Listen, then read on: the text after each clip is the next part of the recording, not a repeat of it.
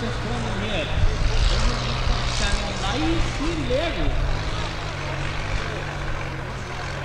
Þetta gerir frábært, algjörlega frábært sigur. Þetta startaði bara ógeðslega vel. Flottu strákur. Og þetta er flott að eða einu ári viðbótt að smíða.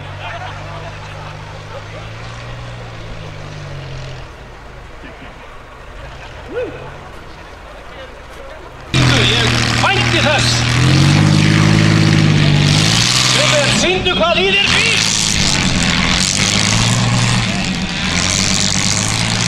Refsistiga laus. Ok, ok, þetta var fínt, þetta var fínt. Ég veit ekki hvort það var lengra en áðan, en... Það var að fara á stað.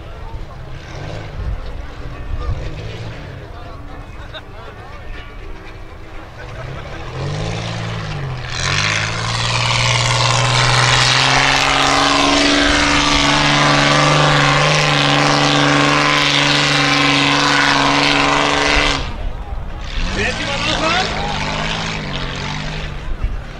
Ekki veitir af. Svo er bara spurning hvort hann... Nei, hann ætlar að klúðra þessu. Mér finnst og að sé eitthvað losaralegt hjá hann um hægra framdekkið. Er það vitlis í mér? Það er einhver skjálti í hægra framhjóli, en hann er farinn út úr braut.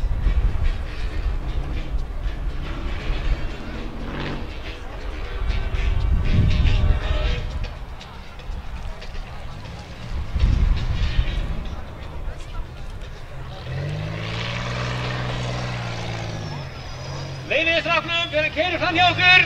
Þannig að ábyggilegt er að gera góða hluti í torförunni. Einhver staðar verður maður að byrja. Þannig eru menn Sveinbjörn og fleiri að gera gott mót. Smíða sér bíl af einskærum áhuga. Langar vera hér.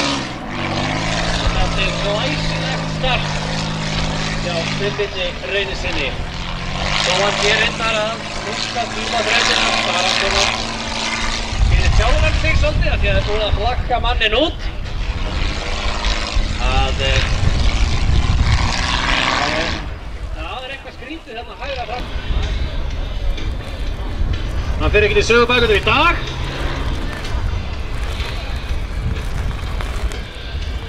Við erum að hvetja hann áfram. Leifið honum, sínið honum að þið séð að styðja hann Áfram! Gríðarlega vel gert